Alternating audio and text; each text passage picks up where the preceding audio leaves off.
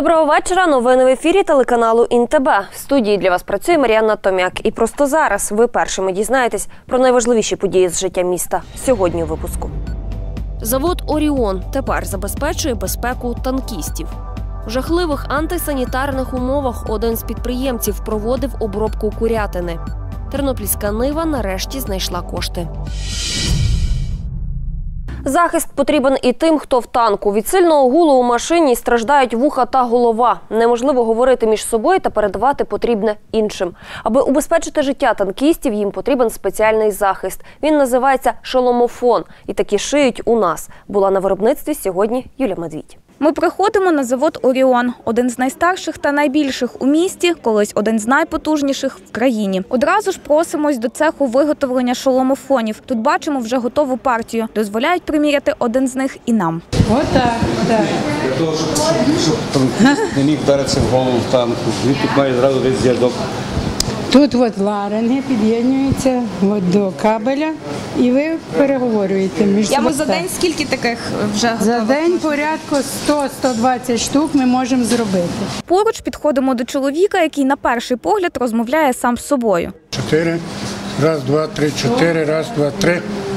Насправді, в пана Мирона одна із найвідповідальніших місій перевіряти зв'язок у вже готовому шоломі. Він повинен дозволяти чути і тих, хто поруч в танку, і спілкуватись між машинами. Це місце обладнане так, як у бронетранспортері чи в танку. Є апаратура внутрішнього зв'язку і комутації. І ми на ній відтворюємо те саме, що є там в військовій апаратурі. Шоломофони збирає близько десятка фахівців. Усі професіонали, бо тут помилка одного може коштувати життя бійцю там на війні. Пані Оля колись відпрацювала на Оріоні 26 років. Тепер знову повернулась на своє робоче місце. Звичайно, краще би, щоб мир був на землі, щоб, щоб того не треба було. Усі шоломофони це незвичайна захисна шапка. Вона зі спеціального матеріалу не боїться навіть вогню. Матеріалом, який не згорає. Для того, щоб був безпечний та- екіпаж, щоб нікого не мав проблеми, щоб воно колись може загорітися. Ну і цей матеріал у нас дуже тяжко дістати. Він, е, він достається тяжко, але ми наладили його постачання, тому проблем зараз не маємо. На заводі, розповідає нам директор Оріону Ярослав Карпик, замовлень від влади не було вже 20 років. Зараз готові працювати у кілька змін та у вихідні. Каже, вже першу партію більше сотні віддали на фронт. Сьогодні це дуже великий дефіцит. Зразу ці шоломофони розібрали, віддали ну, першим необхідним по частях. Ми їх будемо робити більше 4 тисяч штук. Радіозавод додамо єдиний в Україні, який може забезпечувати радіотехнікою військові машини. Тому в разі потреби перейдуть на посилене виробництво не лише шоломів. Без ветеринарного нагляду та в антисанітарних умовах один з підприємців проводив обробку курятини, яку потім реалізовував гуртом та в роздріб. За свою діяльність тепер понесе відповідальність. Документи на продукцію у приватного підприємця були. Проте обробка м'яса відбувалася за відсутності лікаря, який би контролював якість товару. Свою діяльність бізнесмен проводив в одному з цехів комбайнового заводу, який орендував. Працівниками ветеринарної міліції МВС України Тернопільської області було задокументовано факт роботи підпільного складу холодильника, на якому проводили е, обвалку м'яса птиці е, курятини без відповідного дозволу із сторони ветеринарної служби. Тепер на підприємця очікує адміністративна відповідальність. Даного підприємця притягнуто до адміністративної відповідальності за порушення, передбачені статтею 107 КУАП. Ставиться питання про притягнення даного підприємця до адміністративної відповідальності, передбаченої статтею 164 КУАП України. З початку року було складено понад 100 протоколів за порушення ветеринарного законодавства. З обігу вилучено тонну 200 кілограм неякісної продукції та винесено 64 приписи про усунення недоліків. У державній службі з надзвичайних ситуацій нове керівництво новопризначеного начальника обласного управління представили місцевим рятувальникам 6 серпня. Ним став тернополянин Віктор Маслей. У відповідній службі на різних посадах він працює з 1995-го. Останні кілька років Віктор Маслей займав посаду першого заступника начальника управління. На сьогоднішній день вважаю, що це найкраща і найоптимальніша кандидатура. Людина, яка себе зарекомендувала організатором. Він показав себе, показує себе, по крайній мірі, на зустрічах як перспективний, молодий, якраз той керівник, якого сьогодні хоче громада. Хочу запевнити, що колектив тернопільських рятувальників на сьогоднішній день є одним цілим. здатний виконувати будь-які завдання, які покладаються на службу. Ті традиції, які були започатковані, ми далі продовжимо. Ну і звичайно, що керівництво управління молодилося. В молодих людей молоді- є нові ідеї, які ми постараємося втілити на користь держави, на користь служби. Нагадаємо, в квітні цього року за особистим бажанням подав у відставку екс-головний рятувальник області Євген Лукавий. Його звернення оприлюднили на офіційному сайті. Там же він подякував усім за співпрацю. Причин свого рішення не називав. У міській раді шукають нового оператора, який би обслуговував платні парковки міста. Із попереднім вирішили розпрощатися. Чому дізнавалася Ірина Худоба. Міська рада розірвала угоду з оператором, який обслуговував платні парковки Тернополя. В управлінні транспорту кажуть, причиною стали численні порушення з його боку. Запевняють, підприємцю неодноразово надсилали попередження. Були акти із боку спеціальної комісії, створеної дорученням міського голови. Однак належного реагування в мерії не дочекалися. Парковка е, не прибрана, парковка не проасфальтована, парковка е, без е, певної кількості е, паркоматів, парковка без оновлення розмітки на парковці і таке інше. Відтак, рішенням виконавчого комітету від послуг паркувальника вирішили відмовитися. Даний оператор близько двох років обслуговував сім парковок в різних частинах міста. Це по вулиці Будного, це вулиця Шептицького, це вулиця Живова, це вулиця 15 квітня, це вулиця Коперника і інші. Додамо, виконавчий комітет дав доручення оголосити новий конкурс на відбір оператора паркування у Тернополі. За словами Ігоря Мединського, відбудеться він орієнтовно через півтора-два місяці. Відтак закликають взяти у ньому участь всіх охочих. Необхідну інформацію обіцяють опублікувати на сайті міської ради.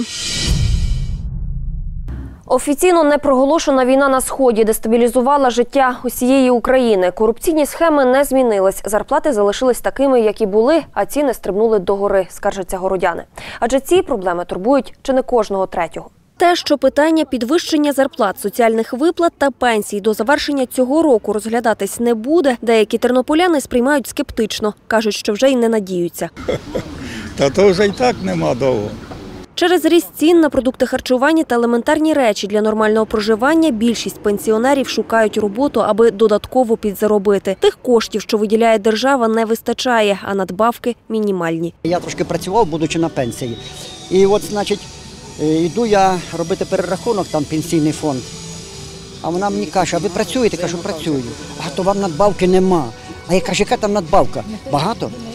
Ну, 3 гривні, 4. Я говорю, ладно, візьміть собі тих 3 гривні, я там трошки більше маю, як я там роблю. Станом на 1 липня мінімальна зарплата сягає трішки більше однієї тисячі 200 гривень, пенсія 949, а прожитковий мінімум 2018 гривень. Цього для життя замало, тим паче, що левова частка йде на комунальні послуги. Вартість комунальних послуг зростає, а зарплати лишаються незмінними.